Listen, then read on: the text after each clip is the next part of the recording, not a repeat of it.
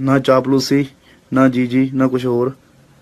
ਦਿਲੋਂ ਗੱਲ ਹੈ ਜੀ ਵੀ ਗਾਣਾ ਸਿੱਧਾ। ਕਈਆਂ ਨੂੰ ਲੱਗੂਗਾ ਵੀ ਕਈਆਂ ਦੇ ਹੱਡਾਂ ਤੇ ਵੀ ਵੱਜੂ ਤੇ ਕਈਆਂ ਨੂੰ ਵਧੀਆ ਵੀ ਲੱਗੂ। ਮੈਂ ਪਹਿਲਾਂ ਦੱਸ ਦਿੰਦਾ, ਕਿਉਂਕਿ ਗਾਣੇ ਦੇ ਵਿੱਚ ਕੋਈ ਵੀ ਇਦਾਂ ਦੀ ਗੱਲ ਨਹੀਂ ਹੈਗੀ ਮੈਂ ਕਿਸੇ ਦੀ ਜੀ ਹਜ਼ੂਰੀ ਕੀਤੀ ਹੈ। ਪਹਿਲਾਂ ਵਾਲੇ ਗਾਣਿਆਂ ਵਾਂਗੂ। ਆਪਾਂ ਜਿਹੜੀ ਗੱਲ ਮੂੰਹ 'ਚ, ਦਿਲ 'ਚ ਆਉਂਦੀ ਆ ਉਹੀ ਆਪਾਂ ਸਿੱਧੀ ਮੂੰਹ ਤੇ ਮਾਰੀ ਦੀ ਆ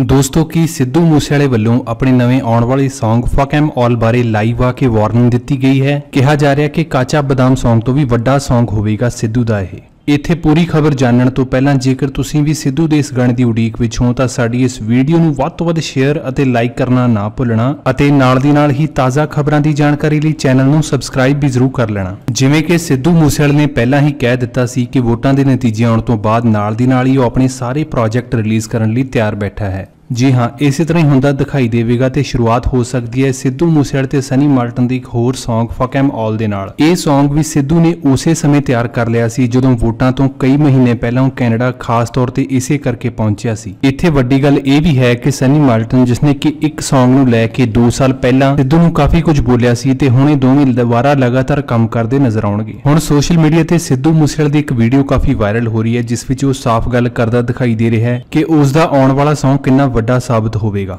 ਹਾਲਾਂਕਿ ਕਿਹਾ ਨਹੀਂ ਜਾ ਸਕਦਾ ਕਿ ਸਿੱਧੂ ਦੀ ਹਾਲ ਹੀ ਦੀ ਵੀਡੀਓ ਹੈ ਜਾਂ ਪੁਰਾਣੀ ਵੀਡੀਓ, ਪਰ ਇੱਥੇ ਫੱਕ ਐਮ ਦਾ ਪੋਸਟਰ ਲੱਗਿਆ ਵੀ ਦਿਖਾਈ ਦੇ ਰਿਹਾ। ਤੁਸੀਂ ਵੀ ਦੇਖ ਸਕਦੇ ਹੋ।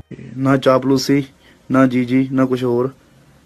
ਦਿਲੋਂ ਗੱਲ ਹੈ ਜੀ ਵੀ ਗਾਣਾ ਸਿੱਧਾ। ਕਈਆਂ ਨੂੰ ਲੱਗੂਗਾ ਵੀ ਕਈਆਂ ਦੇ ਹੱਡਾਂ ਤੇ ਵੀ ਵੱਜੂ ਤੇ ਕਈਆਂ ਨੂੰ ਵਧੀਆ ਵੀ ਲੱਗੂ।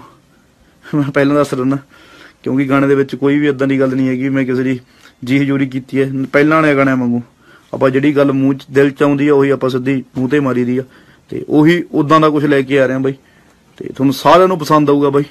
ਦੂਜੇ ਪਾਸੇ ਖੁਦ ਸਿੱਧੂ ਨੂੰ ਆਪਣੇ ਯਾਰਾਂ ਨਾਲ ਫਨ ਕਰਦਾ ਵੀ ਦੇਖਿਆ ਗਿਆ ਤੇ ਇਸੇ ਦੌਰਾਨ ਅੱਜਕੱਲ ਦਾ ਪੂਰੇ ਇੰਡੀਆ ਵਿੱਚ ਸਭ ਤੋਂ ਫੇਮਸ Song ਕਾਚਾ ਬਦਾਮ ਚਲਾਉਂਦਾ ਵੀ ਦਿਖਾਈ ਦਿੱਤਾ। ਤੁਸੀਂ ਵੀ ਪਹਿਲਾਂ ਦੇਖ ਸਕਦੇ ਹੋ ਕਿ ਕਾਚਾ ਬਦਾਮ Song ਤੇ ਆਪਣੀ ਗੱਡੀ ਵਿੱਚ ਸਾਥੀਆਂ ਨਾਲ ਜਾਂਦੇ ਹੋਏ ਸਿੱਧੂ ਨੇ ਵੀਡੀਓ ਖਾਸ ਤੌਰ ਤੇ ਅਪਲੋਡ ਵੀ ਕੀਤੀ।